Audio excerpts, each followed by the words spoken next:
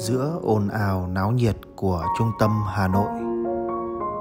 Chúng ta rất cần một không gian yên tĩnh để tĩnh lặng và giải tỏa stress. Cắm trại tại hồ đồng quang, thuộc huyện sóc sơn, hà nội, là một nơi đủ tĩnh lặng và thoáng đãng cho ta thư giãn.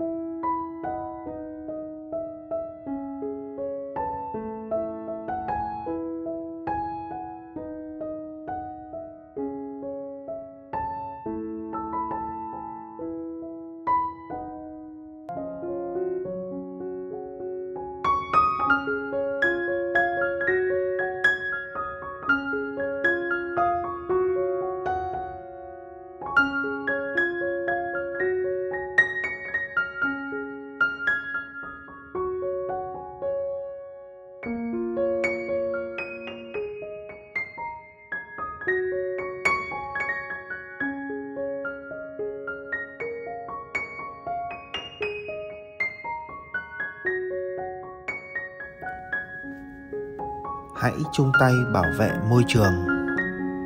Tối thiểu, khi cắm trại xong, bạn hãy dọn sạch rác.